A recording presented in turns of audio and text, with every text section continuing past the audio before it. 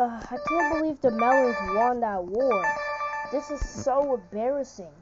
We can't just let the Melons win. Hey, bro, I need you for a second. Wait, is that the boss? Yes, boss. What do you need? Well, we cannot end this battle. We must fight the Melon team. I don't care how many times we lose, we have to win. Bo- boss, I don't know if we're gonna win. Come, you stupid idiot.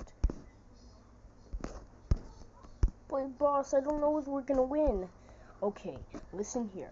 We are going to fight those mountains again, and this war's gonna start again. Yes, sir.